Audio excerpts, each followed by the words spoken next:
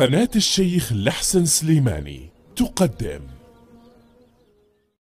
بالنسبة لمن أتراه هذا النوع من الشك الذي ذكرت تخيل إليه أنه خرج منه ريح ولم يتثبت من ذلك فالأصل أن اليقين لا يزول بالشك أو لا يزال بالشك. كنت على طهارة متيقنة متيقن من كونك على طهارة. فما دمت كذلك فيقينك هذا لا يزول إلا بيقين آخر.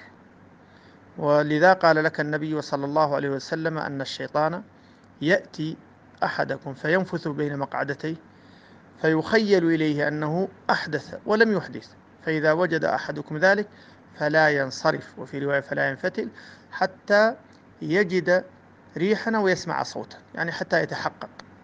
قبل ذلك ليس بشيء يعتبره من وساوس الشيطان التي يريد أن يربك بها الإنسان فيفند الشيطان ويصدق نفسه.